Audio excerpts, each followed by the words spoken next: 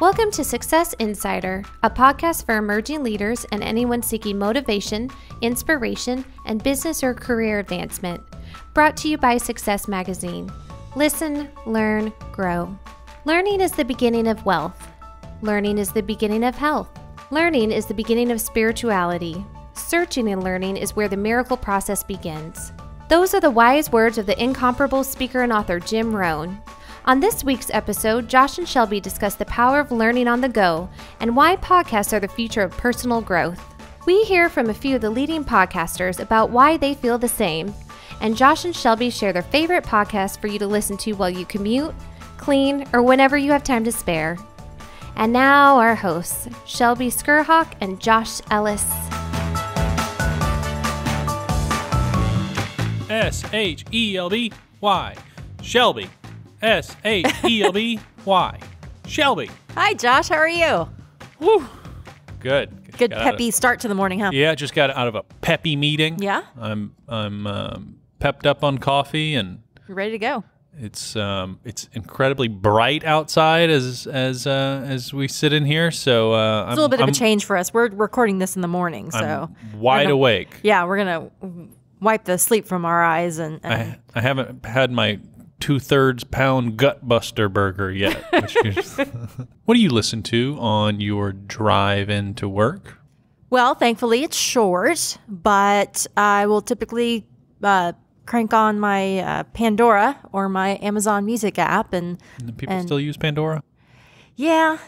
It's so I'm in that in between because I know everyone's using Spotify right now, but I had subscribed for the year for like six months ago. So I'm I'm gonna squeeze every every bit out of it. So yes. How about you? Well, um, I can neither carry a tune or uh, judge what is good music. I have terrible taste in music, famously terrible. Really? Uh, so most of the time, um, I like listening to other people talk instead.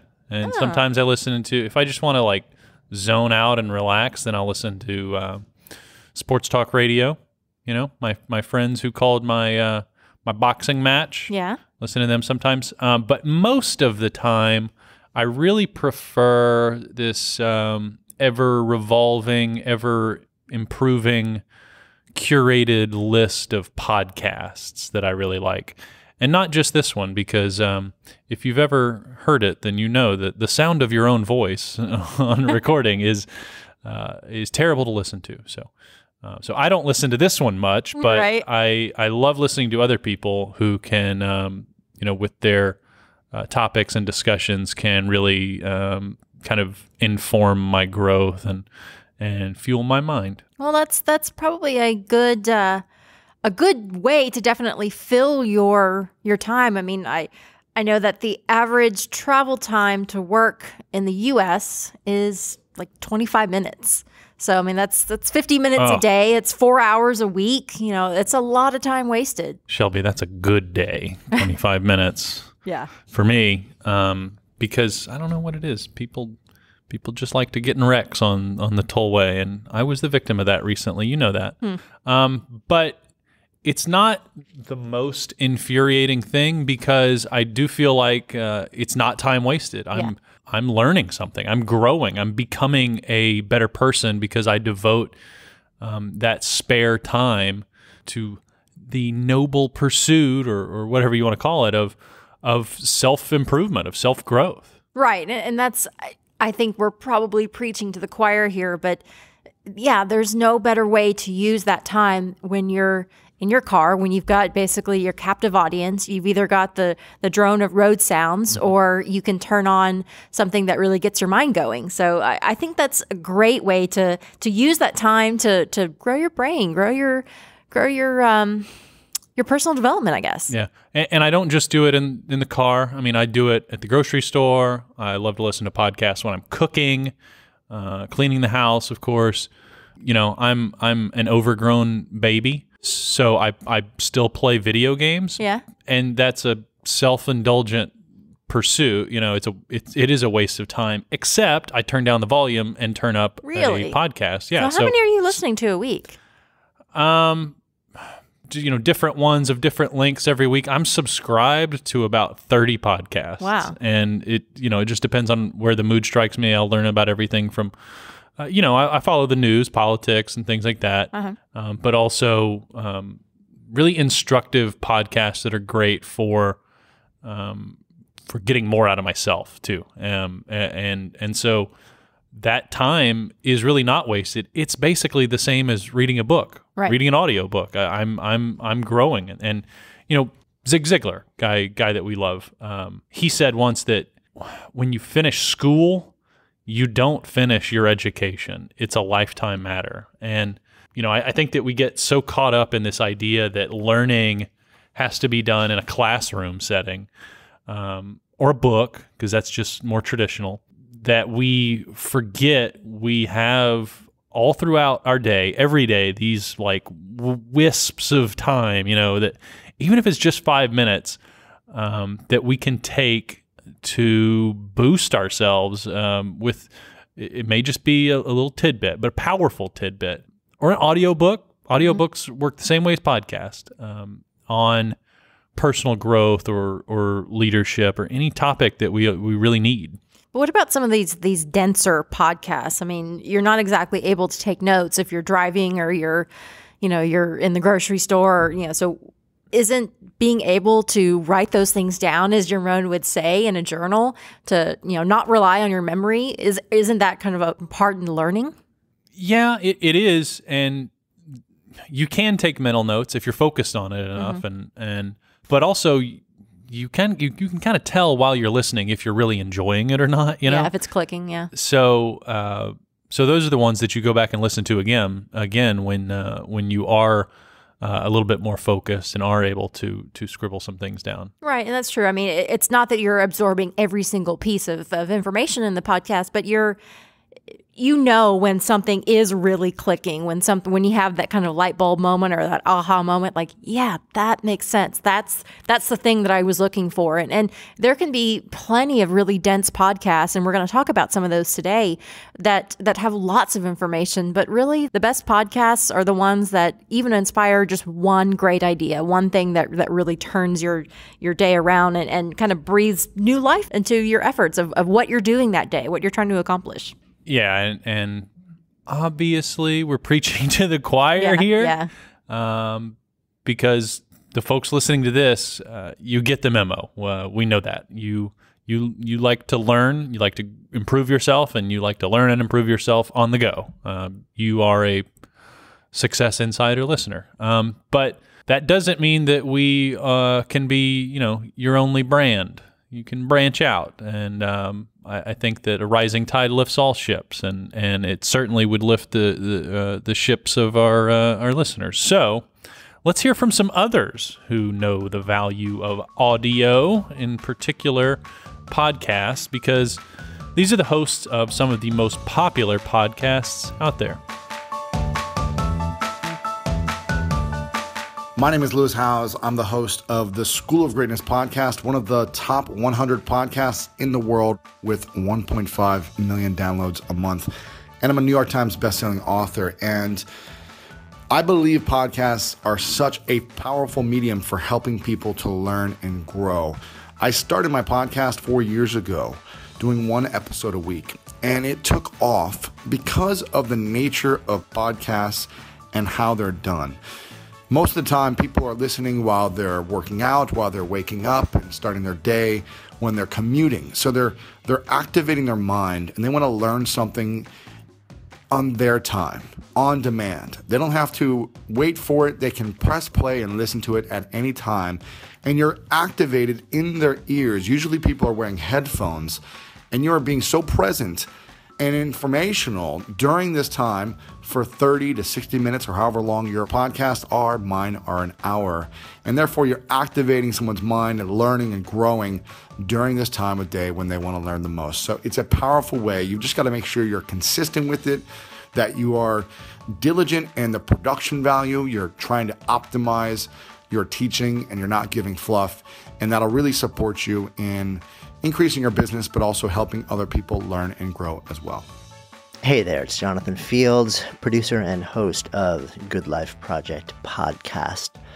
So, why do I think podcasts are a really powerful medium? You know, this really came to me a couple of years back when I was having a conversation with a well known public radio producer, and we were producing video at the time, and I was considering a move to audio, and I wasn't sure whether it would be podcast or public radio. And I kind of said to her, you know, I was really interested in public radio, and she asked me why, and I said, well, well, the reach. I mean, there's tremendous reach on public radio. And she kind of tilted her head to the side and raised an eyebrow like I wasn't getting it. And I said, what am I missing here? And she said, well, yeah, there is a lot of really great reach in public radio. And, and truth is, these days, podcasting is exploding reach wise too. But that's not the big benefit. The big difference is that audio is an incredibly intimate medium. It's different than video, it's different than print, because essentially it's your voice um, just entering the ears and the brain and the intellect and the wisdom of the person listening. It's like you're having a conversation with them, and then they get to form the visual around that. And in that moment, I really awakened to the power of audio, and we started to produce um, standalone audio content and eventually made the shift entirely from video to audio and decided to focus entirely on podcasting. And I found her words to be incredibly resonant and true. Audio is an incredibly intimate medium. You're hearing my voice in your ears very likely right now through headphones that are you know, literally channeling straight into you. And it develops a sense of knowing, a sense of rapport, a sense of comfort, trust, and ease that's really hard to replicate in another medium. And because of that, it creates an opportunity for transmission and change in a really differentiated way.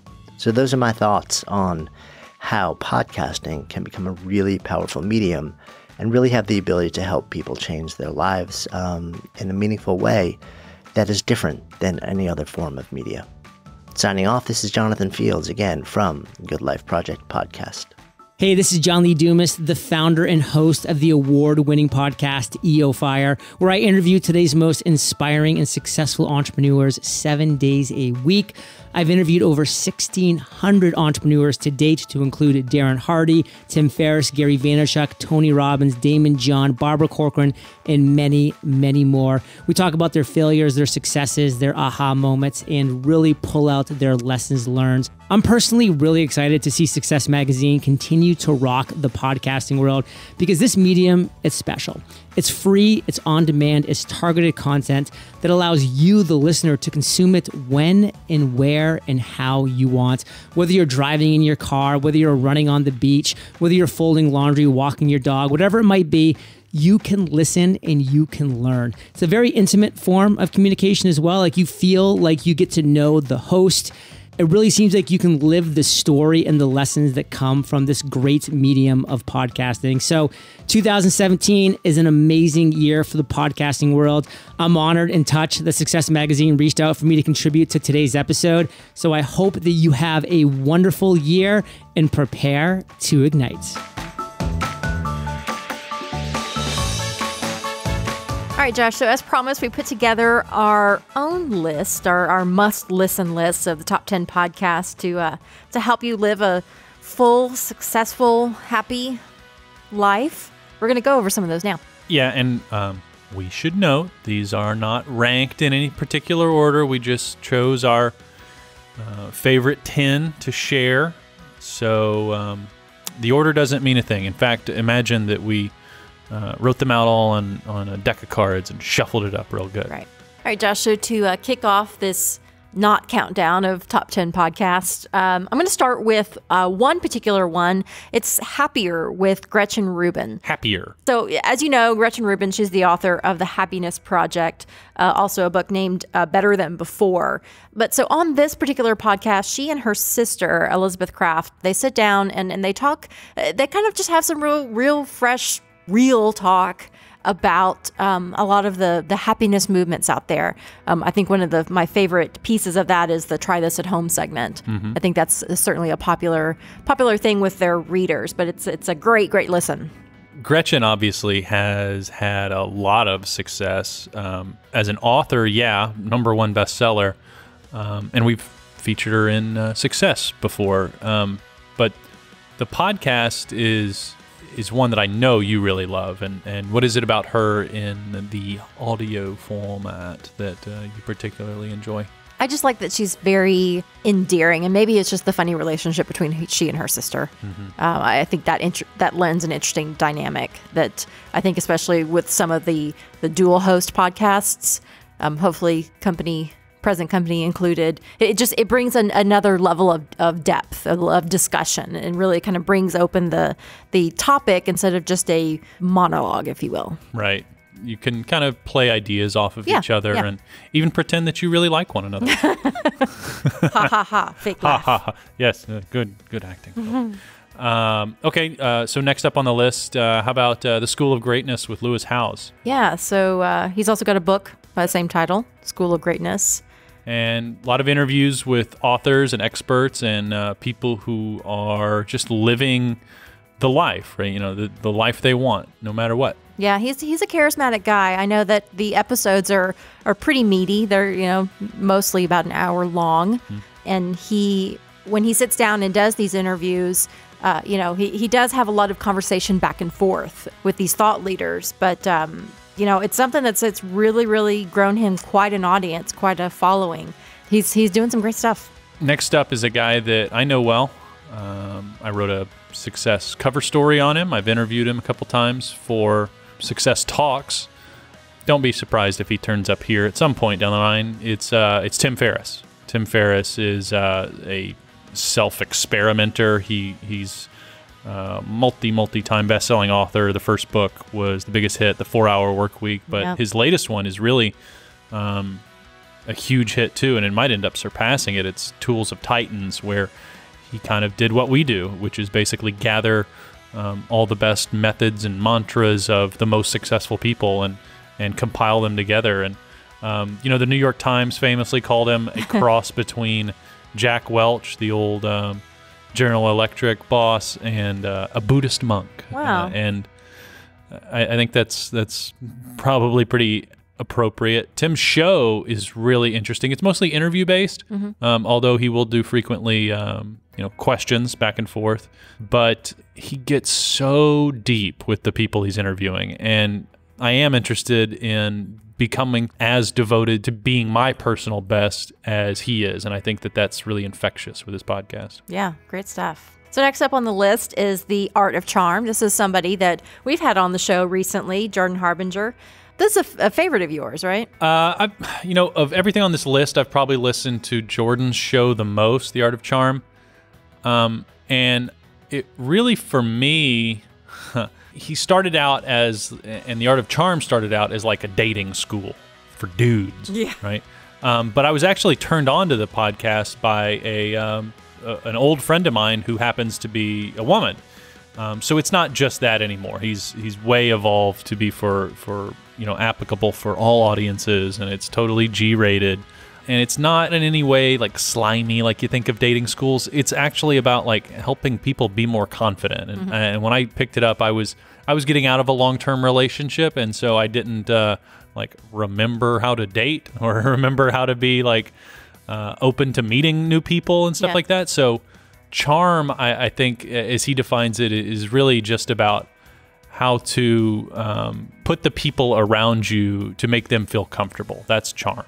Your own confidence is a big part of that. So for me, when I started listening to it, um, I, I was really interested in, in all the, the guests and the methods that Jordan teaches about growing your confidence. And, and that's what we had him on Success Insider for uh, recently. So this isn't the uh, the old seduce and destroy, how to how to make women fall for you madly and and and get them to will to your ways. Like this is true confidence and how and, and learning how to be comfortable in your own skin. Yeah. And how to put your best foot forward for other people. and I think basically the ultimate where he arrives on dating, it, there's the seduce and destroy thing is ridiculous, of course. Um, but you want to know how to be like appealing to women or men Right. is just be a good person, and Yeah. you will attract people, and Right. that's basically what he arrives on. It's a, it's a it's a really interesting show week after week. Next on the list is the EntreLeadership Podcast. Say that five times fast. Uh, this is hosted by Ken Coleman. Now, we uh, I met Ken Coleman, gosh, at least five years ago. He was just about to start a new show. Um, he had a book coming out, and uh, he's really just a really dynamic guy. I need to, Ken, we're going to let you know that you're on this list, and we're going to give you a call and, and, ask you to come on the show because um, I forgot what an engaging guy mm-hmm. Ken really is. He's a great interviewer, and he's had some of the you know some some top names, um, certainly within our industry, uh, Mark Cuban, Seth Godin, Jim Collins, Simon Sinek, you know, big, big, good names that are really thought leaders out there. Yeah, one of my first stories when I got to success, maybe my first, was um, I was interviewing Ken Coleman. He had a new book coming out yeah. where he asked um, a lot of really impactful people one question. He only gave himself one right. question to ask them, and um, a real test to see if he could come up with the one perfect question. If you could ask John McCain, like POW war hero, statesman. Uh, one question about uh, that that would be beneficial to yourself or your reader. What would yeah. you ask him? And, and uh, fascinating book. Uh, all right, next is Marie Forleo, the Marie Forleo podcast. She was named by Oprah as a, um, a thought leader for the next generation. She was one of Inc.'s 500 fastest growing companies. Her company. Um, and the goal for Marie is is to help you become the person that you most want to be.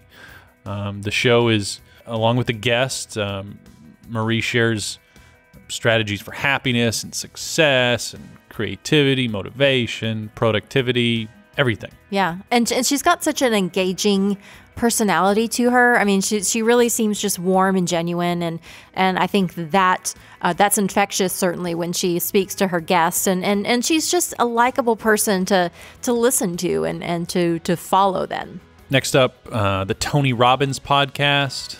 Uh, you know, I, have I've heard uh, when sometimes when the uh, the people are voting for like the Pro Football Hall of Fame, if somebody's like an obvious Hall of Famer, mm-hmm. you know, instead of debating it, they'll just get up on the stage and the presenter will say Jerry Rice, and then he'll walk off the stage. and, and, like in other in other cases, when it's more debatable, they'll talk for forty five minutes about the person or three hours or whatever. But yeah. but I think that we can just say. Tony Robbins, uh, the uh, he is uh, the rock star in sort of our uh, industry, you know you you know you're always going to get good, impactful, um, and maybe even if it catches you in the right mood, life changing stuff from Tony Robbins. All right, so next on the list of the top ten podcasts. Motley Fool Money. So, Motley Fool is actually, they've been around a while. It's a financial site that was started by, by analysts that really kind of gave some of, at first, some contrarian advice, uh, but it was really, it was advice for, for real people. Um, and so then this this I guess franchise has developed into a podcast, and, and really it's truly it's an, a radio show. I mean, it's it's weekly across uh, several top ten markets. I think L.A., San Francisco, uh, Boston, D.C. But this this show dives into a lot of the top business stories and investing stories, and it's a really engaging dive into markets from a different take. Well, I know that I mean, they do stock tips, mm-hmm. right? I'm always a little leery of taking stock tips from anyone that's on TV or on the radio. You know, I feel, I feel like if everybody knows about it, like I don't know, yeah. I just, I just feel like if you're broadcasting stock tips, that it's manipulative in a way to the stock itself. It's almost like Schrodinger's cat. You know, we start looking at this stock, and yeah. because we say it's going to be bad, then it starts to be bad, or because we say it's going to be good, then it starts to be good. And that can definitely happen. I think, though, they've been around so long. Uh, it's not that uh, they got their start on, on TV and, and just all of a sudden started picking stocks out of a hat. I think their big thing was uh, was based in research and, and then really just trying to make the research usable for everyday people. And so, because they had done this for so long on their website, um, I followed them for a while. I haven't kept up a lot lately, but they they really do give some great advice, and it doesn't feel smarmy or, or disingenuous at all because uh, they know their stuff. Next up is a former success cover gal. A lot of people that we've covered in the magazine yeah. turn up on this list, but it's uh, the Jillian Michaels show. Jillian Michaels is. Uh, America's health and wellness guru, I would say. Yeah. The show is entertaining, it's inspirational, informative, Uh, and it just gives tools to find health and happiness in all areas of your life. So, rounding out this top 10 list is EO Fire with John Lee Dumas. He's got quite the cast of guests Yeah, some of the brightest minds. Tim Ferriss, Tony Robbins, Gary Vaynerchuk, Josh Ellis. Josh Ellis. Yeah. I was a guest on EO Fire. and what did you say on EO? What did you say? What did I say? Yes. I don't know. We talked for like 30 minutes. All right. I said was, a lot of what was your best best nugget? well, you don't remember that. You remember the worst. okay. What was the worst thing you said? and so he he, to- he totally caught me off guard with one question. He's like, "What is one thing that you do that no one else does?" Hmm. And I was just stumped, and you know, it's dead air, so you got to hurry up and say something. And so I was like, "I I always work with a pencil." Which is true. I Yeah, do. I, that's I do. I don't like pens. um, as you've got a pencil in your hair right now. in my ear. It's not in my hair. There's a big difference. Okay. Is that a girl thing to have it in your hair? Uh, yeah, it's behind my ear, not in my ear. There's a big difference in that too. Yeah. Um, but like, and then I tried to fumble for some explanation of, ah, that way you can make up for your mistakes. And it, as a magazine editor, I always, you tried to round that out. Yeah. Some wisdom. um, it really showed me that he he keeps his guests on their toes, and uh, so you can um, get some really good stuff from some people who think a lot faster than I do. it's worth listening to. Yeah, so certainly podcasts are a huge, huge genre, and so it's hard to really nail down just 10. Uh, when we were compiling the podcasts that we really liked and, and, and felt like um, our audience would most enjoy, it really was hard to, to nail it down to just that number. So I wanted to mention just a few others that uh, that I'm particularly fond of. Yeah, yeah. All right, so the Jocko podcast. Yeah, if you aren't familiar with Jocko Willink, I think you're going to be hearing a lot more about him soon. I have a feeling. Um, maybe from Success Magazine and Success Insider and Success Talks. We got Jocko on the cover of our April issue, former Navy SEAL, and just really like motivating guy. This, guy, like, I mean, he's the typical like eats lead and spits out bullets Yeah. kind of dude. Um, Girl Boss Radio is another great one with. Sophia Amoruso, another former cover gal of ours, and that's that that show is particularly geared toward women, women entrepreneurs, women uh, working uh, their way up in their careers. How about uh, some other ones like 10% Happier with Dan Harris is great. Seth Godin's Startup School, um, the Side Hustle School, Smart Passive Income Online. This is Your Life with Michael Hyatt, and oh, I love this one too. The Charged Life with uh, Brendon Burchard. yeah, Brendon's uh, a good friend of success. really inspiring guy too, um, with his story um, of just where he was in his life after a terrible car wreck, going through the worst breakup of his life, and Right. um, how he pulled himself out of uh, that sort of misery, yeah. um, which we all go through from time to time. How he did it with by really zeroing in on personal development lessons and The three things that mattered most to him. yeah, inspiring guy. So we definitely suggest that you add uh, some of these to your morning or evening commute or your video game time or whatever you whatever it is where uh, you uh, have extra brain space. You can learn a lot from these podcasts.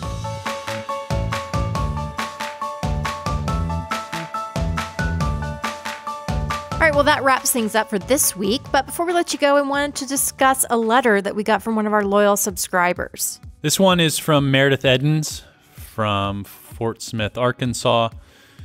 She writes, and loyal is the right word, I think, Shelby. She writes, Success is such an amazing magazine. I always look forward to it. My kids and I listen to the interviews on road trips. While on a recent trip, two of my sons and I were listening to the interview with Tony Robbins. He had some valuable things to say. However, I was incredibly disappointed by his use of profanity throughout the interview. I've taught my kids that vulgar language is lazy, uneducated, and just plain stupid. So the fact that Mr. Robbins chose to use such inappropriate language was very disappointing. Your magazine can do better. We all can do better. This audio provided a teachable moment to my children, just not the one we were expecting. I will continue to read the magazine and listen to the podcast. I just never thought I would have to screen it before sharing it with my kids. Thank you, Meredith. Um, you know, obviously, like we're aware when Tony Robbins cusses that uh, not everyone wants to hear that.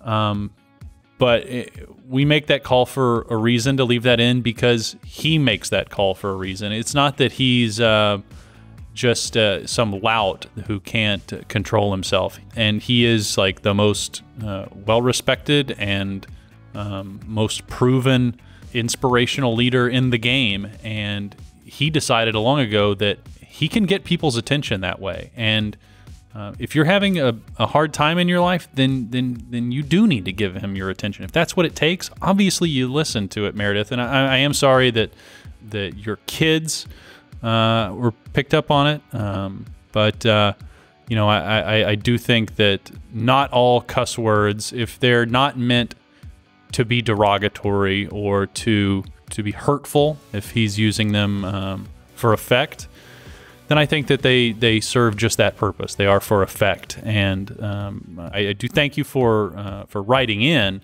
I, I, will consider things again uh, the next time we interview Tony. I do have to say though that you don't expect to have to censor or, screen content. I mean, uh, you know, for the most part, if you read anything on success.com or listen to anything, it, it's going to be clean because it's that's not our our brand isn't salacious. So you're right. And actually, that's something that I don't think a lot of people realize is just how much Tony cusses.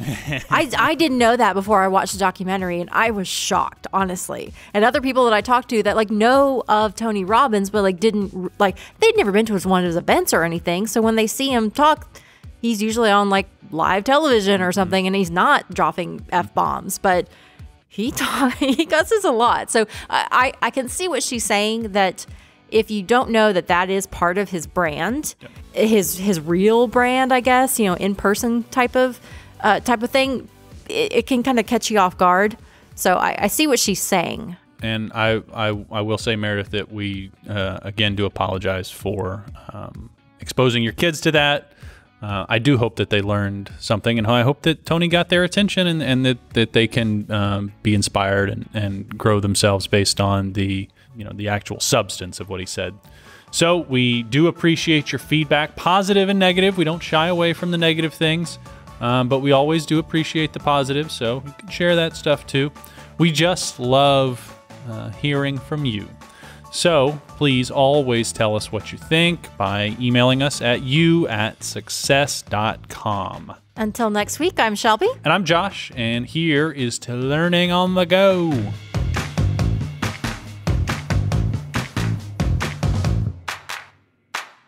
Those are the wise words of the incomparable speaker and author. Oh my God, incomparable. I got it, Mariana. Nope, I got I'm gonna get it. Incomparable. Those are the wise words of the incomparable speaker and author Jim Rohn. Oh my God, incomparable.